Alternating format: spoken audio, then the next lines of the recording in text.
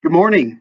Welcome everybody to our January 3rd Thursday webinar hosted by Protec Equipment Resources, the electrical test and equipment rental experts.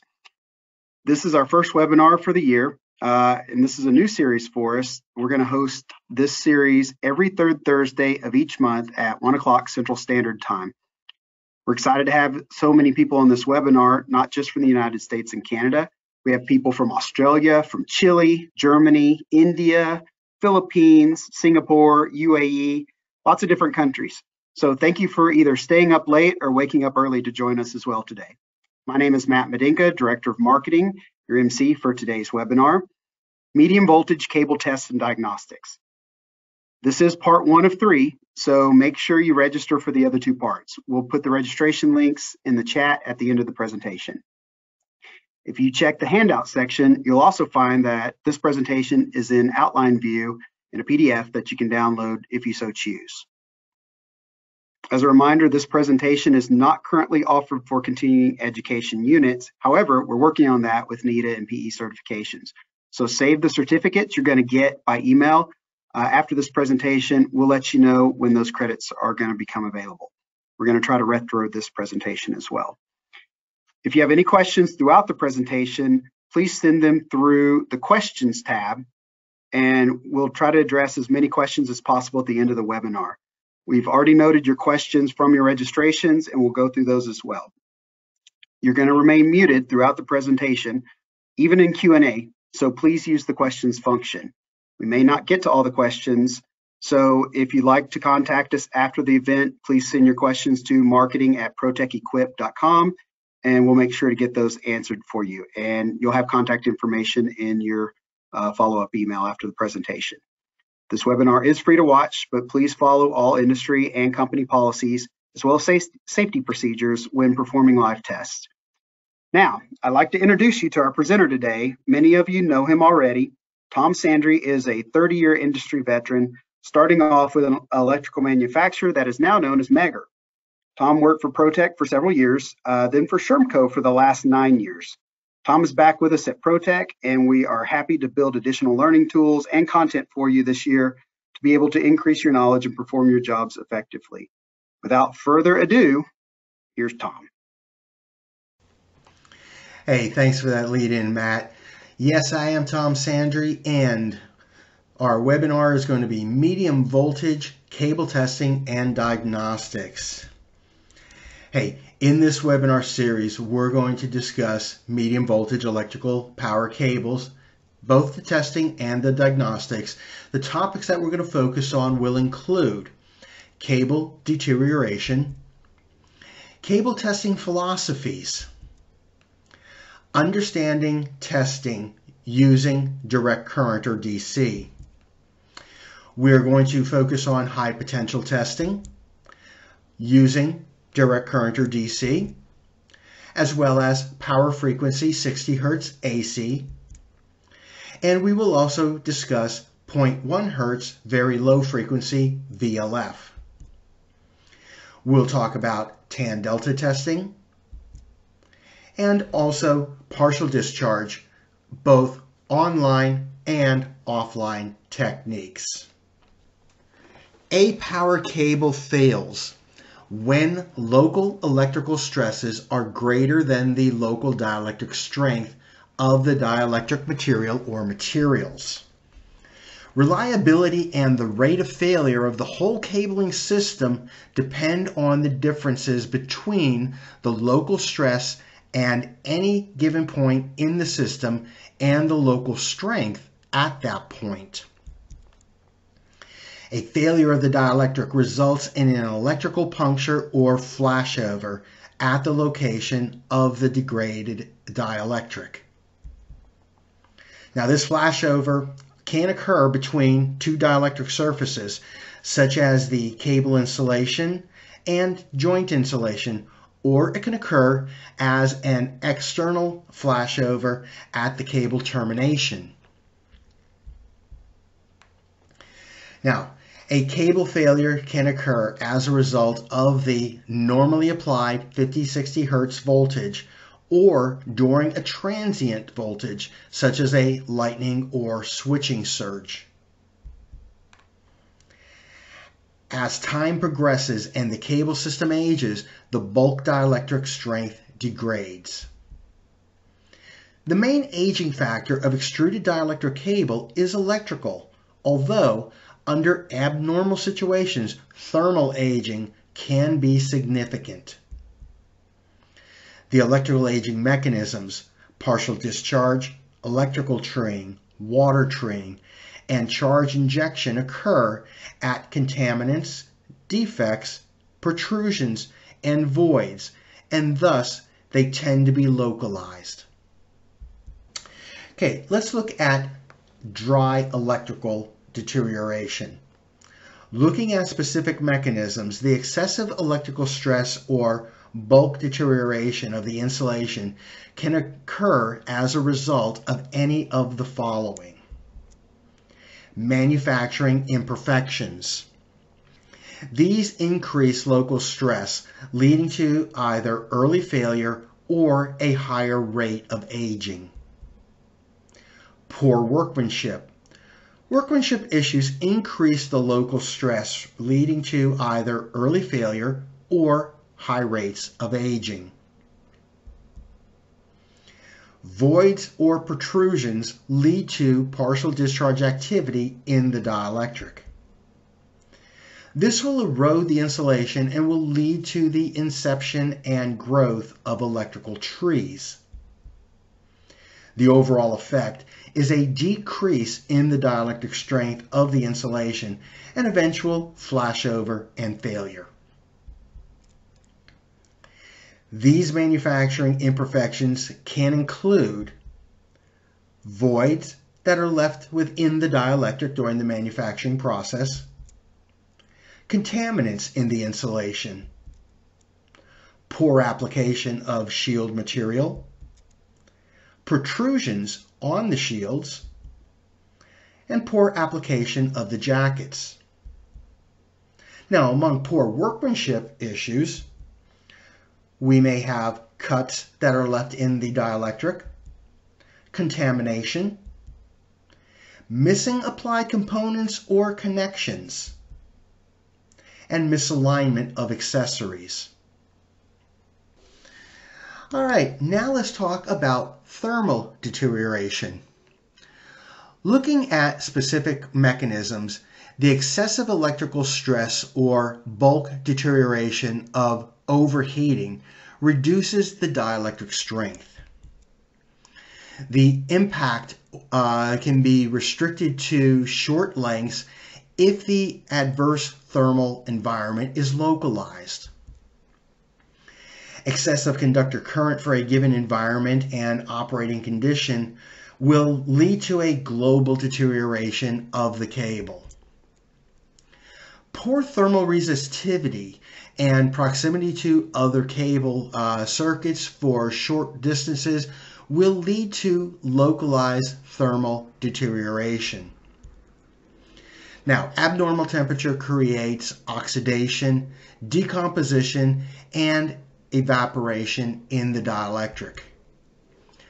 Thermal aging will lead to increased losses in the cable's dielectric, which can be seen in increased dissipation factor or tan delta uh, test results.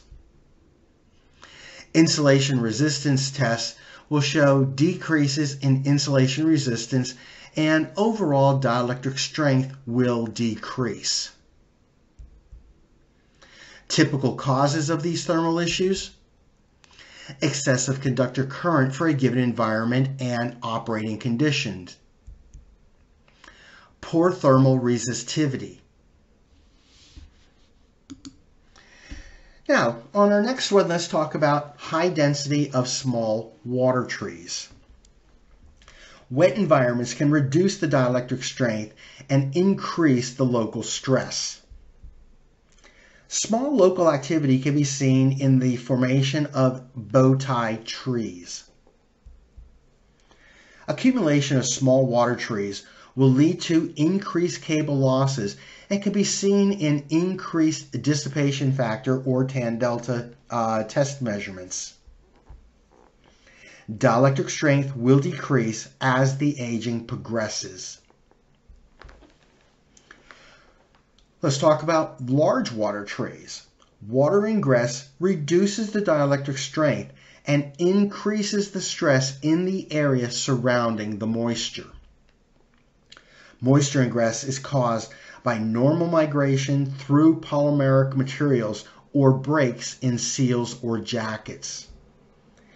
Ingress will lead to the formation of large vented water trees, increased local electric field, and electrical tree formation. This will lead to increased cable losses and can be seen in increased dissipation factor or tan delta test measurements. Next, aggressive environment. Aggressive environments reduce the dielectric strength of the cable. The impact can be local if the uh, environmental influences are local. Causes can be chemical attacks, transformer oil leaks, fertilizers, floods, and petrochemical spills. And finally, let's talk about neutral corrosion. Unjacketed cable in soil that enhances copper corrosion, jacketed cable with corrosive chemical or water ingress will lead to the deterioration of the cable neutral. The loss of the neutral will lead to voltage rise at the cable surface and surface electrical discharges. This will create erosion and reduce dielectric strength. Now, let's get into cable testing philosophies. Over the years, there have been several methods or uh, philosophies regarding the testing of underground electrical power cables in the field application. The Insulated Conductor Committee of the IEEE Power and Energy Society has divided the methods or the philosophies into two fundamental categories type 1 field tests and type 2 field tests. Type 1 tests are intended to detect defects in the installation of the cable system in order to improve the service reliability after the defect uh, part is removed and appropriate repairs are performed. Now, these are usually achieved by application of moderately increased voltage across the insulation for a prescribed duration of time. Such as, uh, excuse me, such tests are categorized as pass-fail. Tests include insulation resistance uh, testing. This is typically looked at as an undervoltage test. DC high potential testing. This is described in IEEE document or IEEE standard 400.1, Guide for Field Testing of Laminated Dielectric Shielded Power Cable Systems rated 5 kV and above with high direct current voltage. VLF high potential testing described in IEEE uh, standard 400.2 which is the guide for field testing of shielded power cable systems using very low frequency or VLF. And finally, high potential power frequency testing at 50, 60 hertz. Now this is typically considered more of a factory test than a field test. Type 2 tests are intended to provide indications that the insulation system has deteriorated. Hence, these are termed diagnostic tests. And these tests include dissipation factor or tan delta testing, this is described in IEEE Standard 400.2, the guide for field testing of shielded power cable systems using very low frequency or VLF. We also have partial discharge testing, which is described in IEEE Standard 400.3, the guide for partial discharge testing of shielded power cable systems in a field environment. And also, we have damped alternating current, or DAC. This is described in IEEE Standard 400.4, Guide for Field Testing of Shielded Power Cable Systems rated 5 kV and above with damped alternating current, DAC voltage. Now, during this webinar series, we will explore the various philosophies and techniques commonly in practice in today's industry.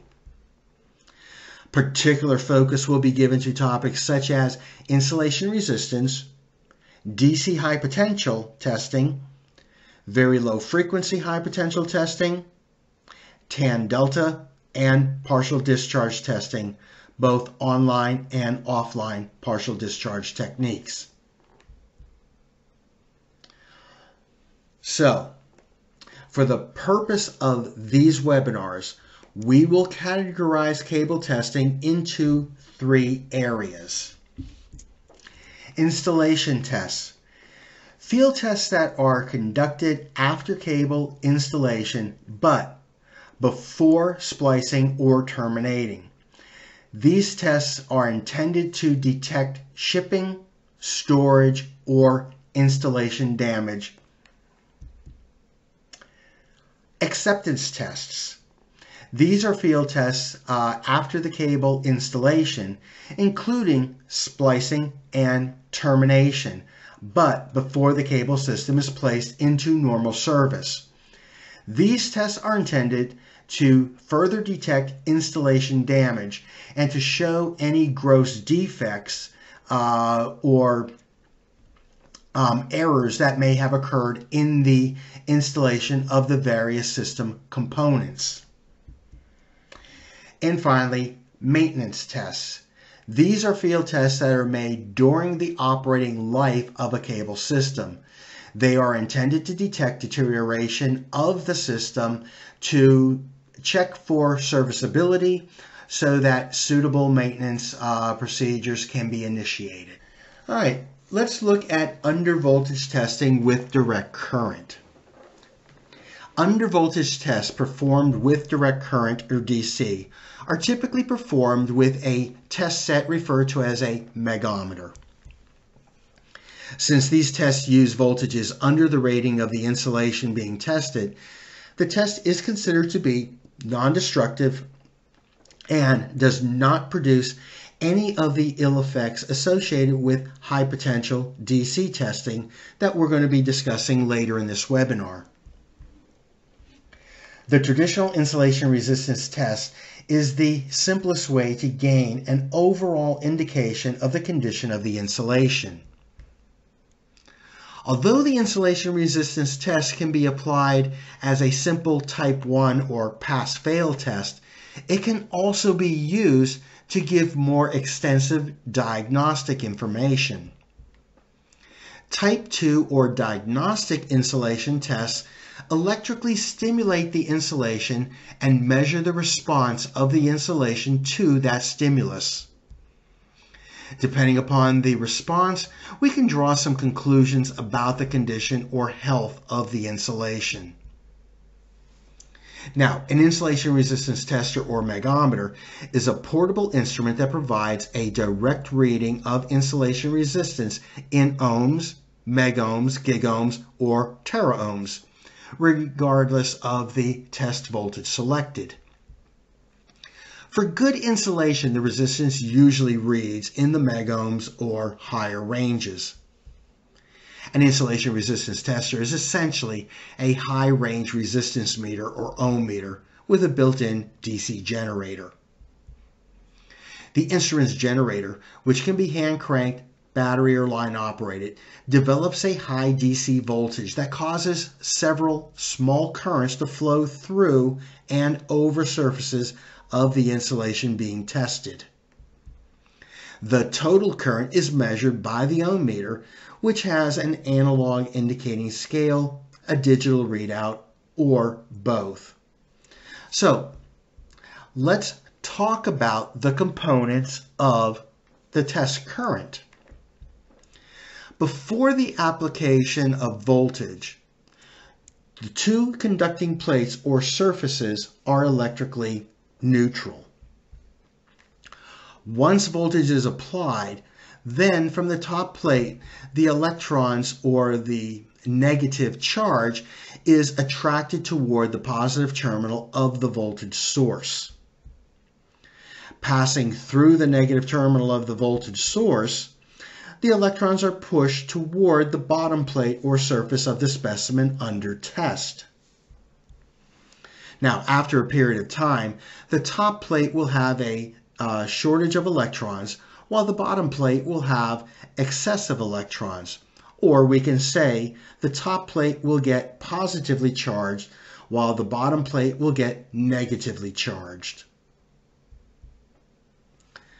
Capacitive charging current is the current required to charge the capacitance of the insulation being tested. The current is initially large but relatively short-lived, dropping exponentially to a value close to zero as the item under test is charged. Insulating material becomes charged in the same way as a dielectric in a capacitor. Next, let's discuss absorption current. Dielectric absorption current is the polarizing current that is drawn by the insulation system or dielectric to align the dipoles within the dielectric with the applied electric field. This current draws a high current initially, but then gradually drops off as the dipoles in the dielectric align to the plate potentials. Therefore, absorption current, which is the current that is being drawn into the insulation by the polarizing of the electrons, is initially high but drops over time at a slower rate than the charging current. And then that brings us to the conductive or the leakage current. The conduction current or leakage current, which is a small and a steady state current that divides into two parts. The conduction path through the insulation and the current flowing over the surface of the insulation. Now that we better understand the components of the test current, let's talk a little bit about time resistance tests. A valuable property of insulation is that it charges during the course of a test. The polar DC field applied by the megohmmeter causes realignment of the insulating material on a molecular level as dipoles orient themselves with the field. This movement of charge constitutes a current. Its value as a diagnostic indicator is based on two opposing factors. The current dies away as the structure reaches its final orientation, while leakage, promoted by deterioration, passes a comparatively large constant current. The net result is that with good insulation, leakage current is relatively small and resistance rises dramatically as charging goes to completion. This charging resistance provides diagnostic information related to the degree of degradation of insulation. Deteriorated insulation will pass relatively large amounts of leakage current at a constant rate for the applied voltage.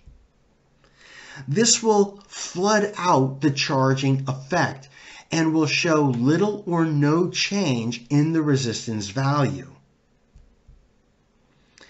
Time resistance test methods take advantage of this charging effect. Graphing the resistance readings at time intervals from initiation of test yields a smooth rising curve for good insulation, but a flat graph for deteriorated insulation. The ultimate simplification of this technique is represented by the polarization index PI and the dielectric absorption DA tests.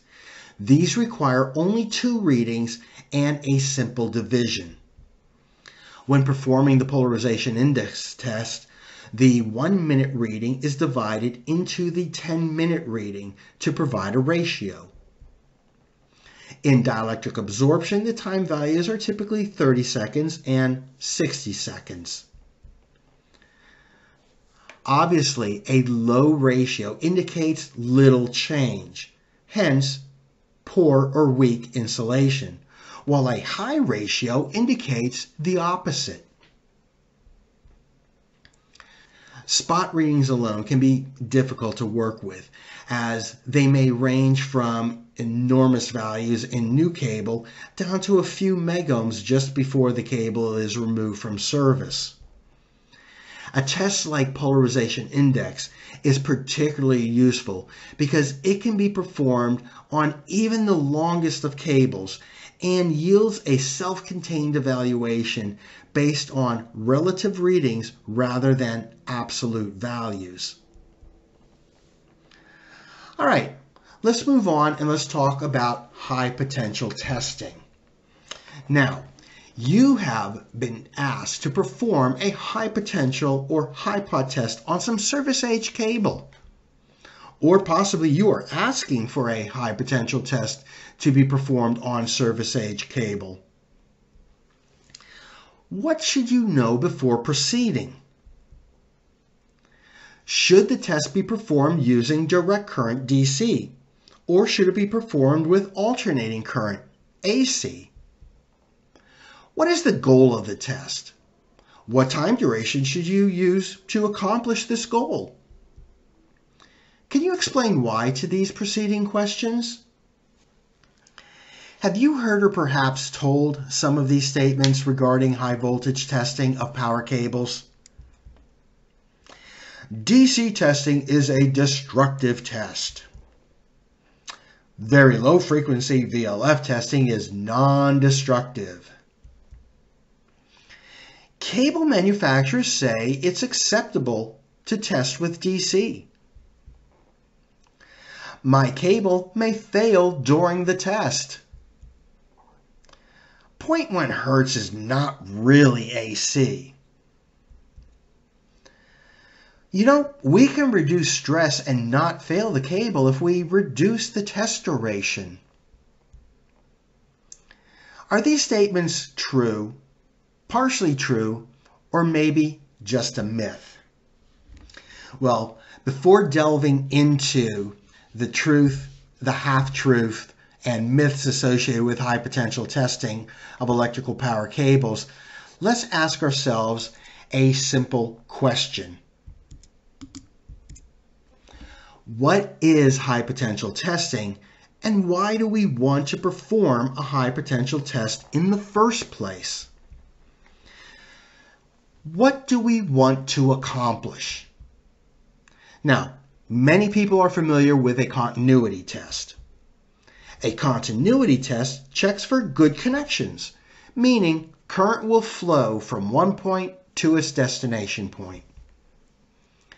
If current flows easily enough, then the points are connected properly. Many people are somewhat less familiar with the high potential or high voltage test. In the most basic terms, a high potential or high pot test checks for good isolation.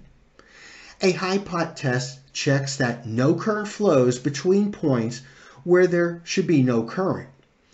In some ways, a high pot test is the opposite of a continuity test. When performing a continuity test, our goal is to make sure current flows easily from one point to another point. When performing a high potential test, our goal is to make sure current does not flow between points where there should be no flow, and we use high voltage to ensure current does not flow. A high pot test takes two conductors that should be isolated and applies a high voltage between the conductors the current uh, flow is watched. If too much current flows, the points are not well isolated and they fail the test. So, what is the intent or goal of testing? What type of voltage sources are available to perform this test? are there disadvantages and limitations associated with the type of test voltages? Well, let's start with what is the intent of high potential testing?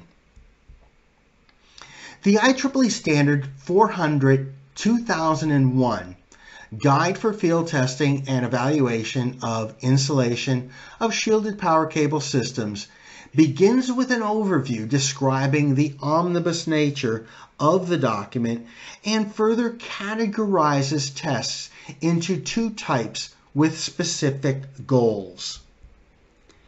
Type 1 field tests are intended to detect defects in the installation of a cable system in order to improve the service reliability after the defective part is removed and appropriate repairs are performed. These tests are usually achieved by application of moderately increased voltage across the insulation for a prescribed duration. Such tests may be categorized as pass-fail or simple go-no-go. Type 2 field tests are intended to provide indications that the installation system has deteriorated. Hence, these are diagnostic. Some of these tests will show the overall condition of a cable system, and others will indicate the location of discrete defects that may become the site of future service failures. Both varieties of such tests are usually performed by means of moderately increased voltage applied for relatively short duration or by means of low voltages. A key point to note in type 1 testing is the statement are intended to detect defects in the installation of the cable system in order to improve the service reliability after the defective part is removed and appropriate repairs are performed. Now, this is in contrast with type 2 testing, where the intent is to provide indications that the insulation system has deteriorated.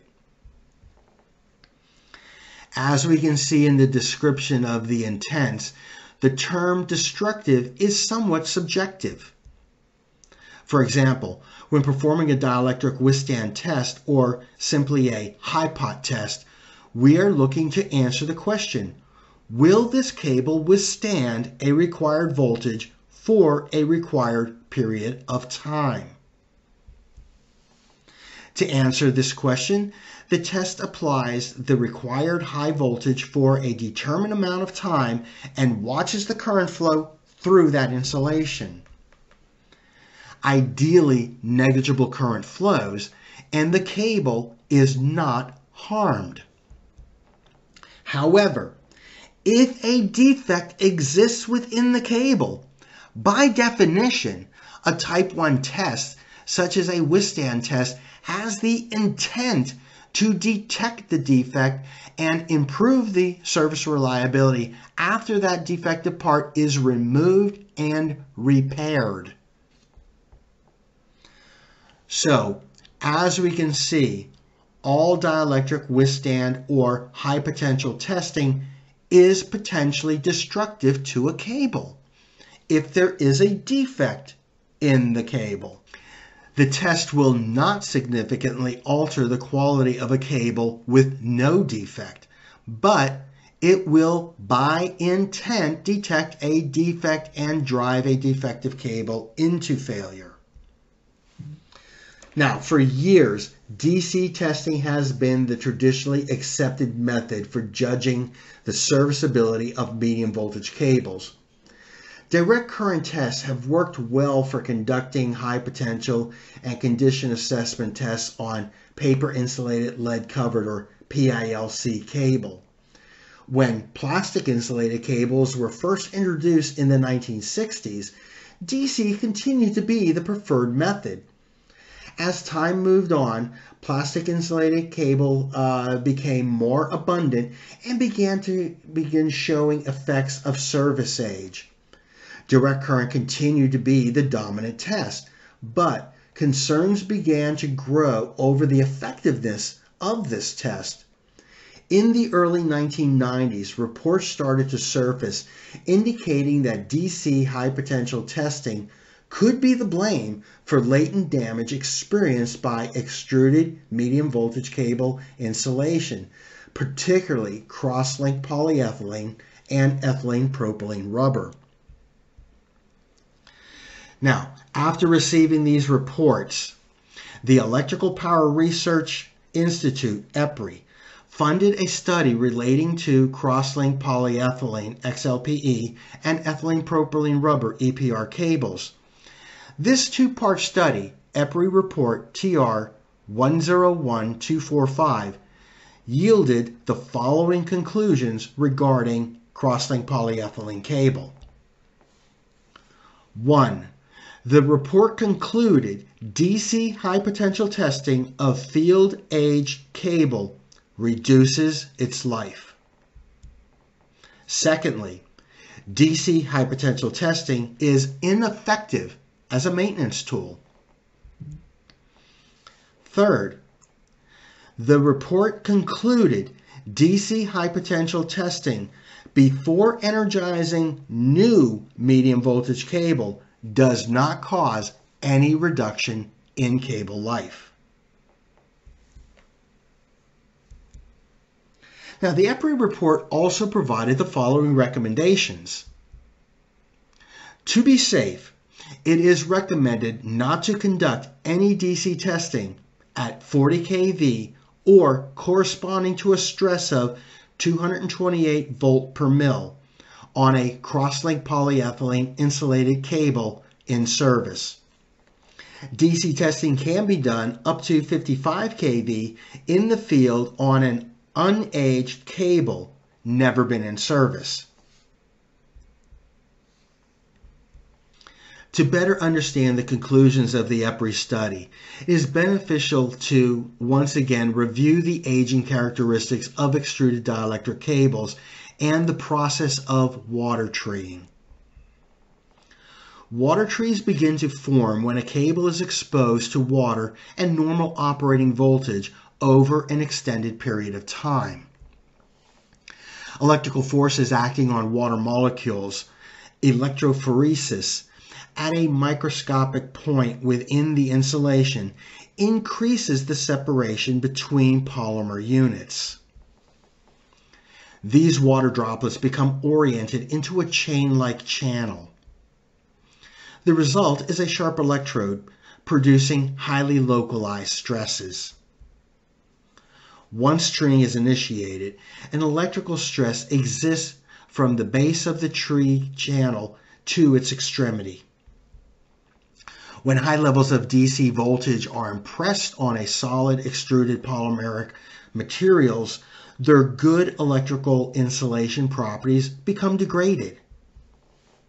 For example, trapped or low mobility electrically charged species within the bulk can give rise to space charge, resulting in localized electrical stress enhancement.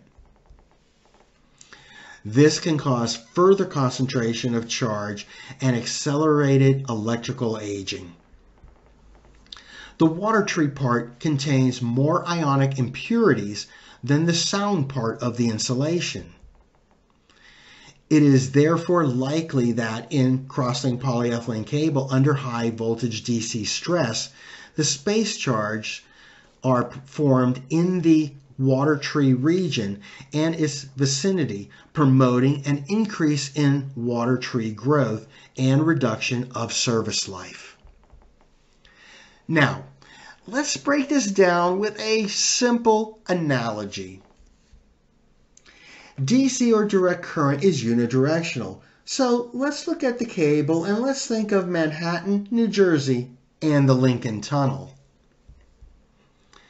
based on our image, we're going to have the island of Manhattan, which is going to be the conductor. And we're going to have the shoreline of New Jersey, which will be our concentric neutral. And we're going to talk about building the Lincoln Tunnel. Now, did you know that back in the 1930s, all construction vehicles like dump trucks and so forth were DC vehicles, meaning that they only had forward gears and no reverse? So the day starts as usual. The construction vehicles start going into the tunnel. But at the end of the day, how do we get the vehicles out of the tunnel? They don't have reverse gears. They become trapped, sort of like a low mobility or space charge stuck in a tree, or in this case, stuck in the Lincoln Tunnel. They are unable to get out. Now, we have this space charge trapped inside of the tree. But we want to put it back into service, so we apply power frequency, and as the AC goes into the cable, the little DC trap charge rises up on the crest of the AC and is sort of the equivalent of all those trucks that are stuck in the Lincoln Tunnel, and along comes a bulldozer, slams into the back of the last truck, pushing everyone forward and accelerates the growth of the tunnel. Well, or accelerates the growth of the channel in this case. Now, and I know that's not a proper engineering description of space charge, but hopefully it helps put a little bit of an image in your mind. In 1996, a few years after the EPRI reports, the Insulated Conductor Committee determined that DC high potential testing of the plastic or cross-linked polyethylene insulation systems was detrimental to the life of the insulation and therefore discontinued recommending DC testing for plastic or cross-linked polyethylene insulation systems. In 2001, a new IEEE guide for field testing and evaluation of the installation of shielded power cable systems, IEEE standard 4000-2001 was released. The new standard included statements such as testing of cables that have been aged in a wet environment, specifically cross-linked polyethylene, with DC at the currently recommended DC voltages may cause the cable to fail after they are returned to service. These failures would not have occurred at that point in time if the cables had remained in service and had not been tested with DC. This standard also indicated other testing has shown that even massive insulation defects in extruded dielectric insulation cannot be detected with DC at the recommended voltage levels. Now, laminated insulation systems are not subject to the same aging characteristics as extruded dielectrics such as XLPE and EPR.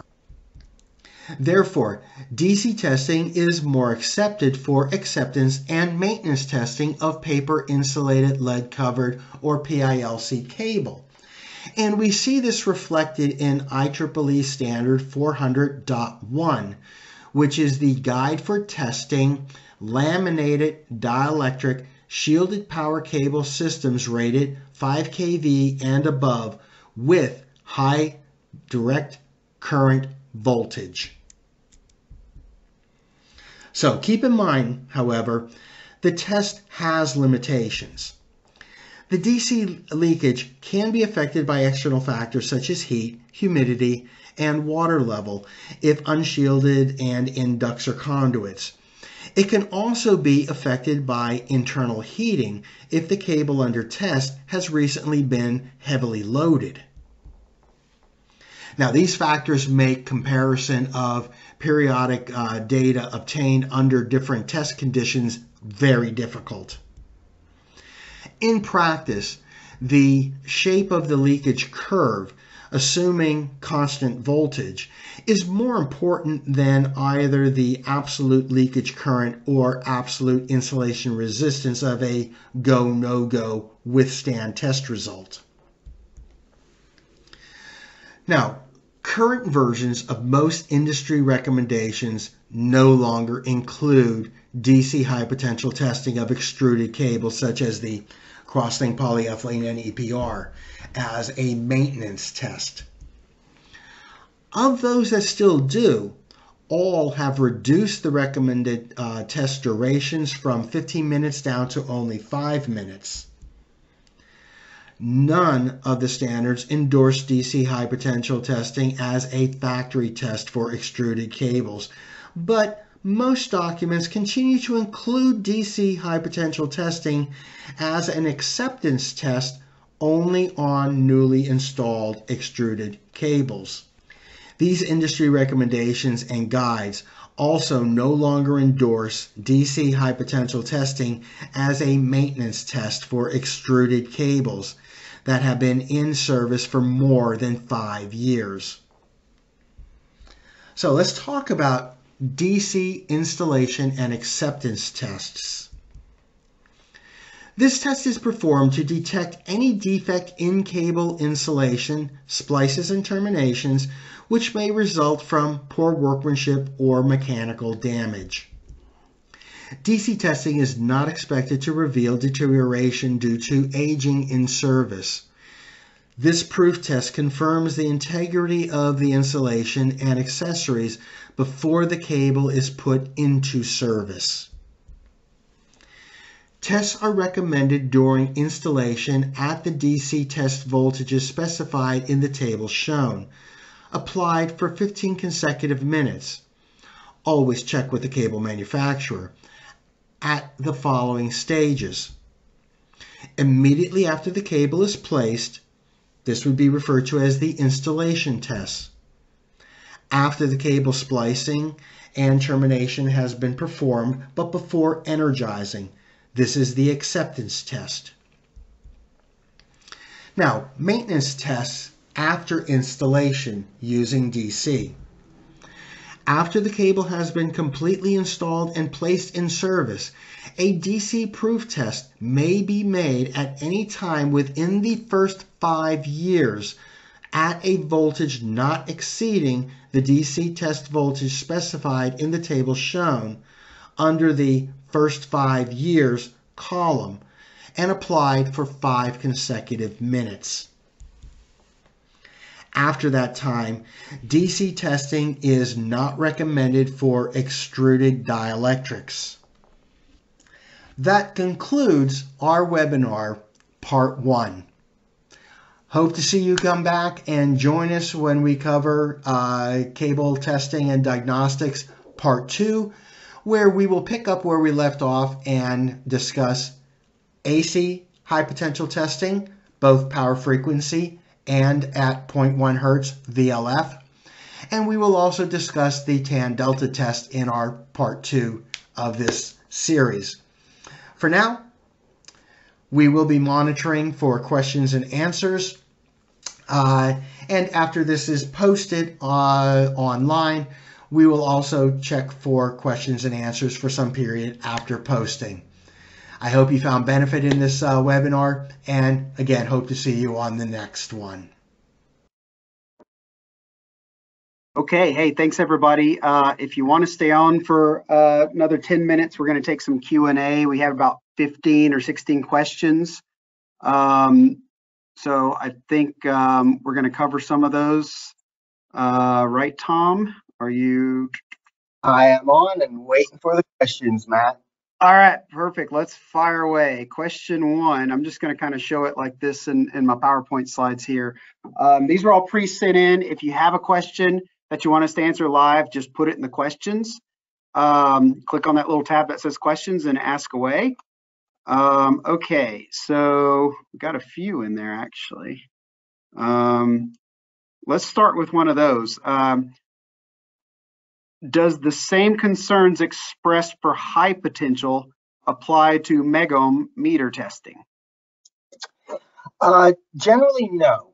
keep in mind when we're talking about megohmmeter testing, Megger testing, insulation resistance testing, whatever terminology we're comfortable with. Normally, like on a, let's say 15 kV rated cable, 25 kV rated cable, 35 kV rated cable, and so on, the megohmmeter is typically limited to only applying maybe 5 kV maximum.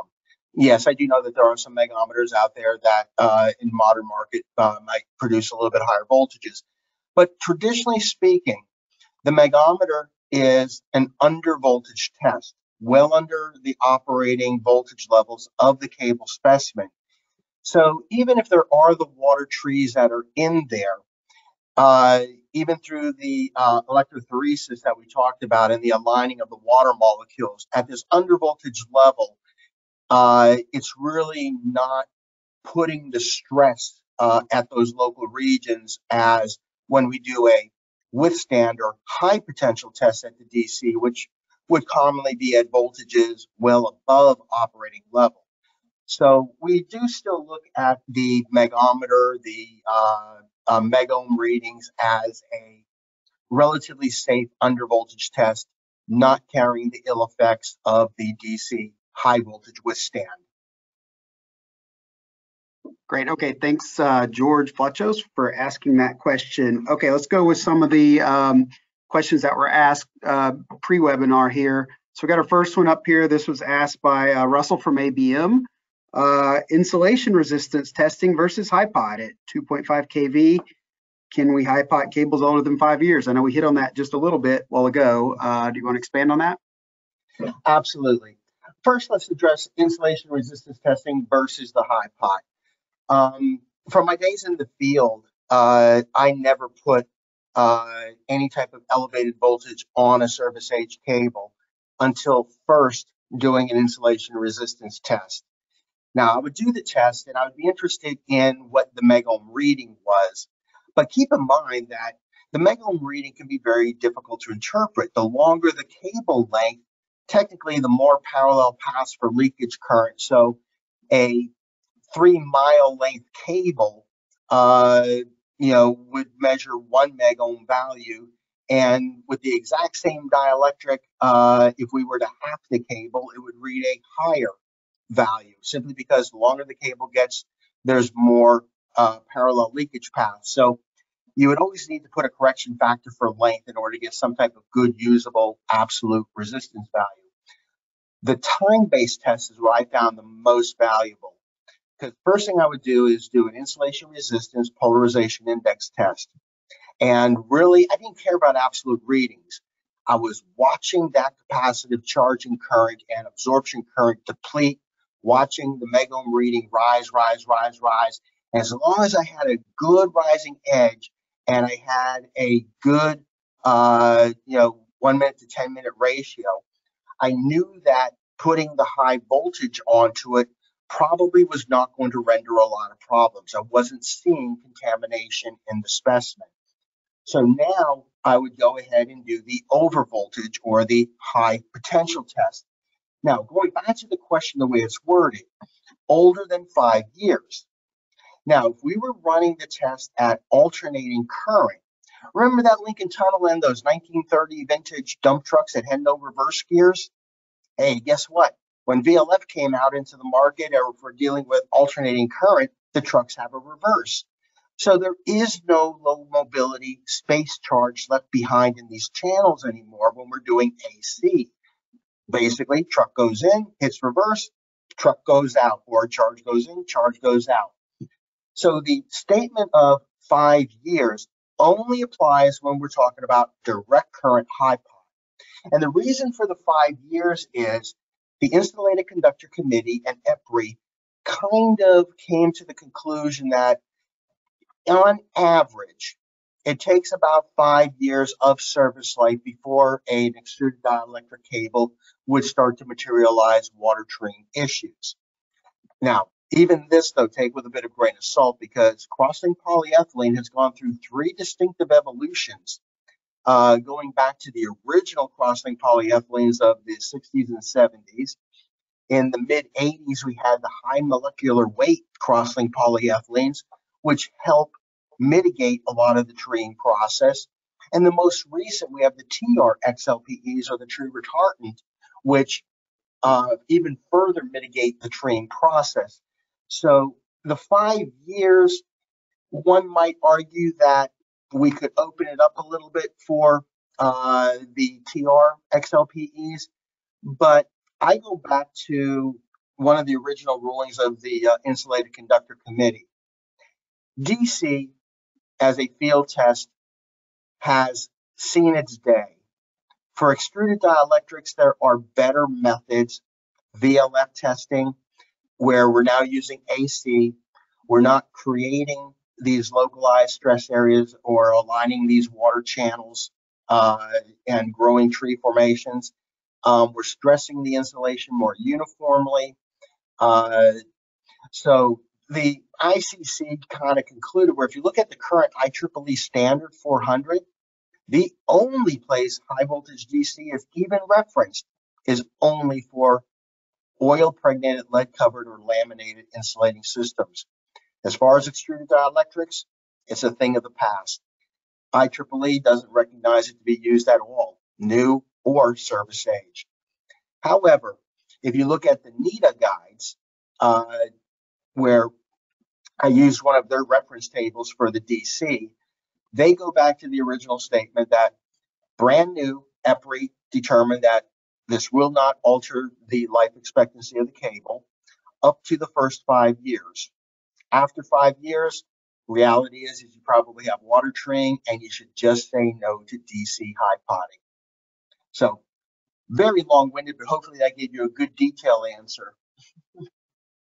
Awesome. Thank you. That was for Russell from uh, ABM. Uh, just real quick in the chat, uh, there's the links to our next four webinars for the next four months, uh, February through May. Uh, our part two of this series is going to be in March and the wrap up part three is going to be in May.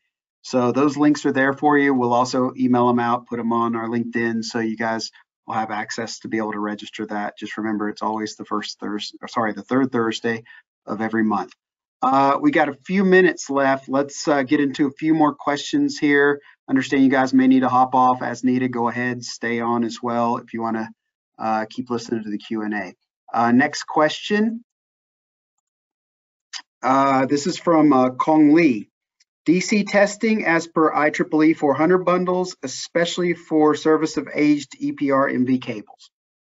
Okay, and I kind of touched on this in my last long-winded answer.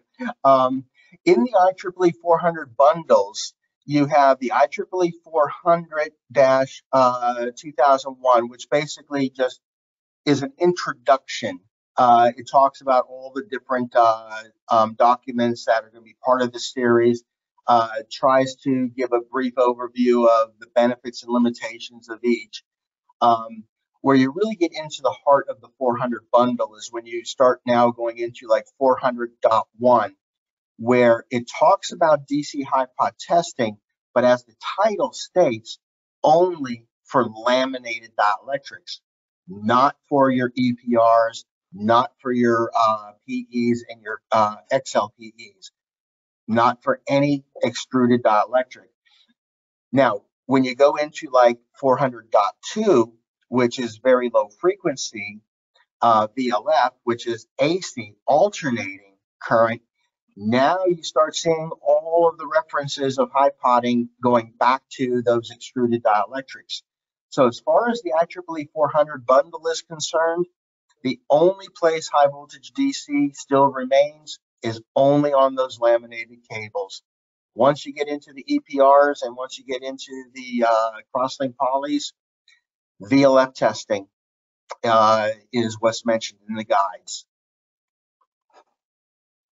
Okay, great. Hey, we got a couple of questions that are just in the question. I know a lot of hands were flying up. Let's post them in the questions. Let's kind of pivot back to those with the people online, see if we could answer some of their questions too.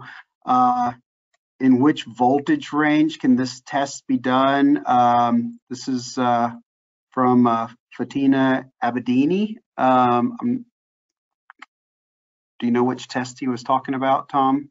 I'm going to assume since the nature of the topics have been really focusing toward that high voltage DC, I'm going to uh, assume that that's where uh, the reference is. So in which voltage range can this test be done? Um, hopefully you went ahead and got yourself a copy of the handout. Um, I would encourage you to go to that one slide where I talk about high voltage DC testing still being used for installation, acceptance, and maintenance. Because the table there gives a consensus of the current modern day recommended voltage levels based on voltage class of cable and also gives recommendation of time duration. The big warnings in the EPRI though, uh, and I would encourage that is a free download off of uh, the internet. So again, get that handout, get that uh, TR number for the EPRI report, get yourself a free copy of it to read up uh, more on their final conclusions. But if, if you really turn back the hands of time to when we looked at the original DC testing of the original IEEE 400 document, DC, we would be literally putting it on cables uh, two and a half times, three times, four times, even sometimes up to six times uh, operating voltage phase to ground in order to simulate the same level of stress that an alternating current would have applied to the. Uh, this is one of the reasons why we see verbiage now in the new IEEEs uh, to the effect of DC is not effective uh, in uh, testing, where here's something you can do at your own labs. Take a length of extruded dielectric cable, maybe, you know, 20 feet, 30 feet. Take a nail and drive a spike all the way down to the conductor. Pull the nail out, leaving a dry hole. Apply a high pot, DC HiPot to it or a megohmmeter to it. You will measure high insulation resistance and it will hold voltage very well. Put a little bit of contamination in that hole that you created, like a little bit of moisture, then it will flash over very quickly. So DC, one of the things is when there's not contamination or anything in the cable, a dry cavity fault, you have to hit it with a tremendously high DC value to get it to break down and show itself as a failure point. Where alternating current stresses the insulation more uniformly and will break down a dry cavity fault or a wet contaminated uh, um, channel very efficiently.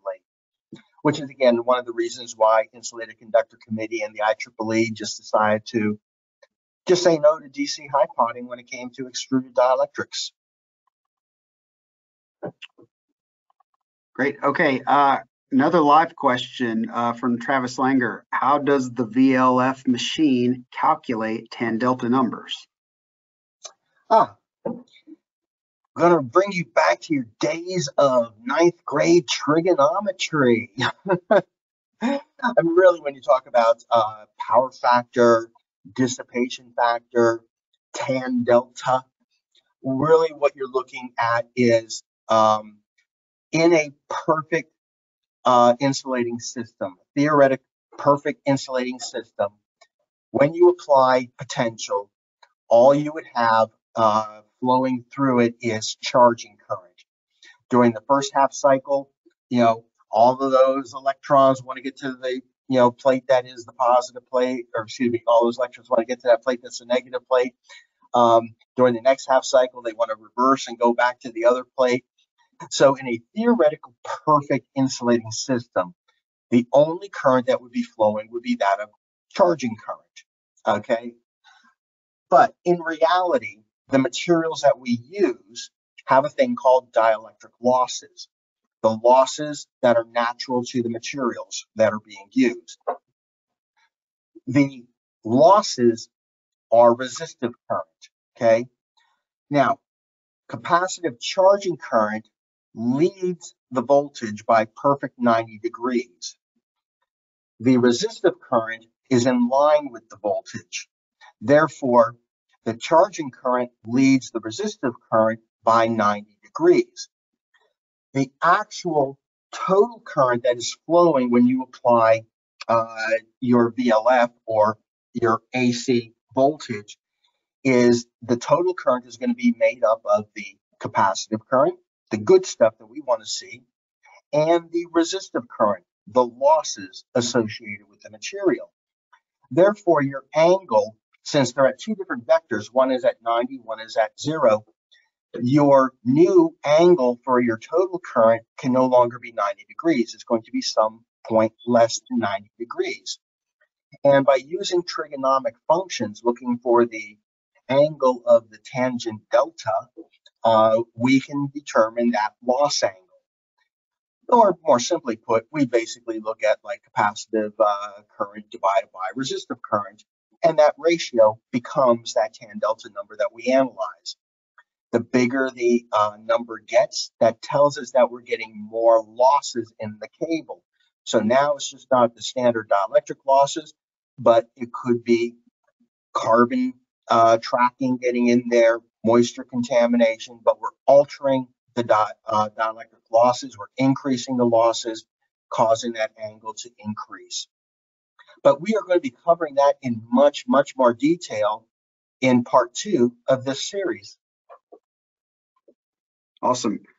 Um, okay, let's. There, I got one more live question, then I'm going to go back to one of the, this next uh, pre-ordered question. Um, so James Altenoff has asked, are there any concerns about generating X-rays when testing cables, similar to concerns when testing vacuum circuit breakers with DC?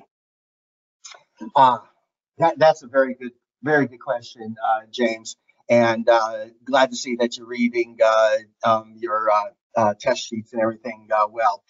Um, no, the X-rays are something that are unique to vacuum interrupters. The problem would not be there for the uh, dielectrics in a uh, in a cable. However, from a safety standpoint, James, one of the big issues that you have with applying DC to long lengths of cable, you don't need to worry about those X-rays, but that big long length of cable. You got a conductor, you got a metallic uh, shield, you got a dielectric in the middle. You basically have a capacitor. The larger the cable and the longer it is, the more capacitance you have. So as you're applying your test voltage, energy is being stored in that cable. You don't need to worry about those x-rays, but if you grab that lead after the test voltage has been removed and you did not discharge all that store energy, it will give you a shock that will knock you across the room and hopefully you survive it. So don't worry about those x-rays, but never forget a cable is a huge capacitor and it will store a DC charge. You have to discharge it before you can handle it. That's actually a really good lead in to this next question. This was asked by uh, Richard Shipley from EPS. How does cable capacitance affect a cable test in DC versus AC cable testing? Okay. One from the safety factor, uh, Richard, uh, your DC uh, will be stored in the cable. So many of the modern day DC high potential test sets are on the market. When you hit the stop button, it kicks in a discharge circuit and will begin to drain that stored charge. But know the equipment you're using. Some of the early ones did not have this feature, and you actually had to use an external discharge stick uh, to reduce that charge. You may also uh, see some of the early literature uh, going back to the original IEEE 400 series, um, where it would say literally you would have to discharge the DC uh, two times, four times, six times uh, the time that you applied it. The problem with the DC and a large bulk of insulation is it takes a long time to get all of the charges out of it. Uh, the uh, capacitive charge drops relatively quickly when you discharge, but all those dipoles that are in the insulation, and the more insulation, the more dipoles, your depolarization of the insulation takes an extensive amount of time. One phenomenon that you may discover sometimes with the DC testing is you go ahead and you remove the voltage, you short the cable out, you remove the short circuit, and the cable starts to recharge itself. Those dipoles start gradually reorienting themselves again. So you get a thing called relaxation current. DC is very, very dangerous when working with big long lengths of cable. So always make sure that you discharge, make sure that you have your static grounds and you ground those conductors and you keep that cable grounded until you absolutely have to uh, either test or put it back into service. Keep that uh, capacitive charge off by just keeping it grounded. Now, alternating current, less dangerous because every half cycle, the polarity is changing. So again, you're not holding a charge when you're using uh, alternating current. However, at VLF, we are going down to like 0.1 hertz. So the potential of ending the test and leaving a remaining charge still exists. So that's first part of the answer to Richard's question. Second part, the effective cable capacitance AC versus DC really affects the test set. And we're going to talk a lot about this in part two of this series. When we have alternating current, we can have alternating current at power frequency, 60 hertz, okay? Now, let's say I have a 1,000 foot length of cable, 15 kV cable, 1,000 feet in length. That may equal about one microfarad of capacitance. If I were to do the mathematics to calculate how much volt amps my test set would have to put out in order to charge that much capacitance to, let's say, a value of 22,000 volts, as I would go through those calculators or calculations, I would basically come to the conclusion that I would need a very large AC transformer with, you know, a few thousand volt amps in order to meet my goal. So now I have a big, heavy test set I have to carry out in the field. By slowing the frequency down to 0.1 hertz and charging slowly, I reduce the VA draw on the test set making it smaller, lighter weight, and more affordable. The birth of VLF test sets. Now, when you look at DC, it may take me three, four minutes of charging it with a megohmmeter uh, in order to get to a stabilized reading to get over the capacitive charging current. But since I'm charging it slowly, time is not a factor. I don't pull a lot of volt amps off the power supply, and megohmmeters are battery operated. So several ways of answering your question, Richard. Fantastic. Thanks, Tom. Uh, and just to be mindful of everybody's time, I mean, we almost still have 100 people listening, so that's great that everybody's interested uh, in staying on for this Q&A, but we got 10 more questions to answer, uh, and uh, I know we have a hard stop coming up pretty soon. So let's answer one more, and then we'll figure out how to get everybody else's questions answered, and some of those we're going to cover in part two anyway. So uh, let's do one more. And this is from Sylvester Jones of uh, Metro Power. And he asks if uh, owner wants to uh, DC HiPot test existing cables, what is an accurate test voltage to be used without damaging the cable further? Uh, okay. First thing, um, I, I would always, you know, try to have dialogue with the cable owner. Okay. Uh, particularly when it comes to DC testing. Hopefully, download a copy of this presentation. That might act as some good talking points that you can sit down and discuss with the owner. Um, if it is a service age cable, honestly, you'd be best to talk them out of doing any type of high voltage DC, move to the world of VLF, uh, move to the diagnostic techniques of uh, TAN Delta. I think they will find at the end of the day they are the ones that are really going to accomplish what their goal is. Because most times with a service age cable, I don't want to put any undue stress. I don't want to grow any defect to failure. I just want to know how much contamination do I have in there? Should I be concerned?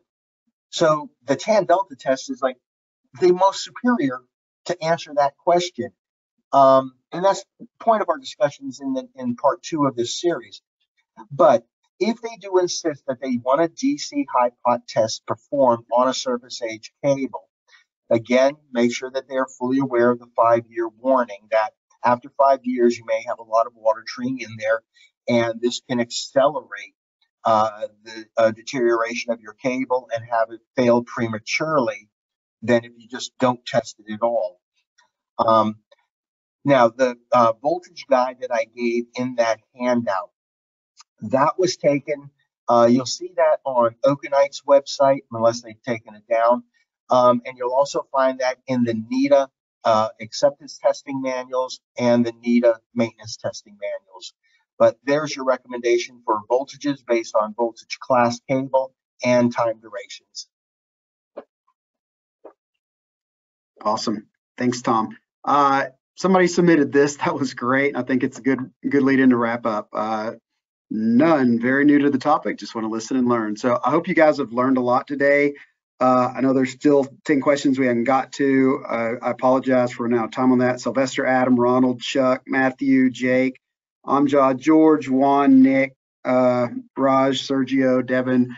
We'll follow up with you and get your questions answered, and we'll probably use some of them on our next uh, part two. So thank you so much. Again, check the chat really quick before we sign off.